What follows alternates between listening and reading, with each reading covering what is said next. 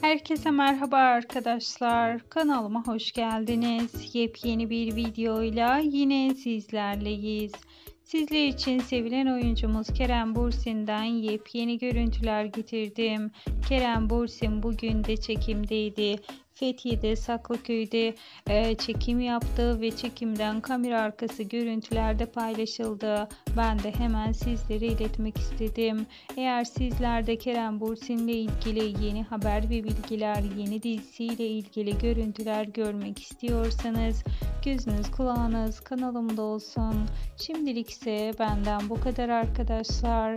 Bir sonraki videolarımızda görüşmek üzere. Hoşçakalın.